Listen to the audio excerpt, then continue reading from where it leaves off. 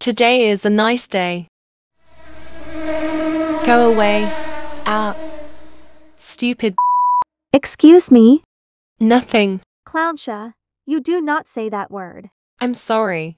It was an accident. Nope. Saying bad words does not count as an accident, and you're not sorry. You made people look at you. That language was very uncalled for. Mom, I'm sorry. I really am. That's it, ClownXiao. We are going home. You are getting severely punished. ClownXiao, we are very angry at you for using a bad word at Pier 4 Park. But Mom, it's not a cursed word. When people type curse words on Roblox, it tags and became censored. It doesn't say go for the one I said in public. Nope, I don't care. You are not supposed to say this word. Another thing, we are not curing your sting because of your language. You are staying in that wound forever. You are grounded for 40 months. Go upstairs to your room or else we will send everything from your room to a nearby charity.